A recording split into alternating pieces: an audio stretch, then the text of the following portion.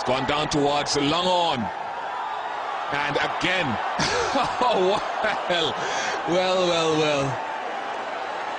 We saw Murali a little earlier catch one and then have to throw it back over the boundary. Billy Bowden will call for the television umpire to have a look at this.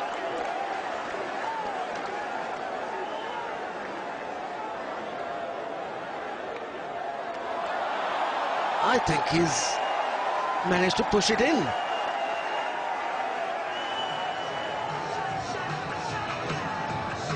I've never seen it before. I've never seen it before, but I'm going six. I'm with you. We go through on base.